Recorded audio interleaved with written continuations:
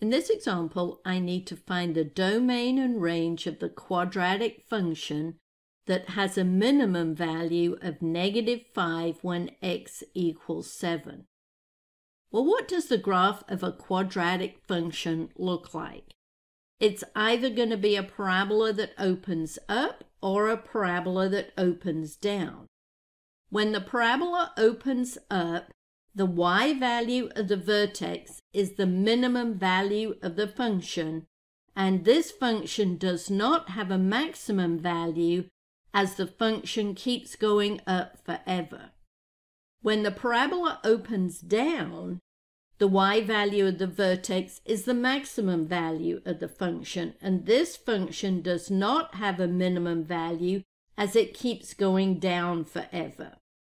So our quadratic function, we were told, has a minimum value of negative 5.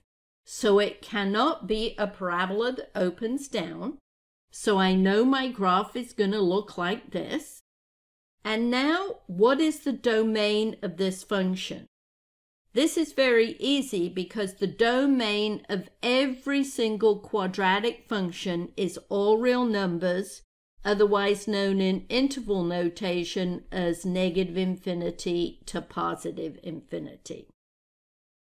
Now, the range is not all real numbers. It depends on whether the parabola opens up or down, and I need the coordinates of the vertex. So this vertex occurs when x equals 7, the x value is 7, and the minimum value of the function negative 5 is the y value of the vertex. So what is the range? Are there any y values below the vertex? No. If I come up from negative infinity in the y direction, the first y value I'm going to hit is negative 5. There is a point where y equals negative 5, so I use a square bracket on the negative 5.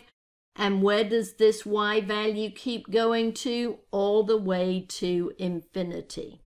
So the range is square brackets negative 5 comma to positive infinity with a parenthesis on it.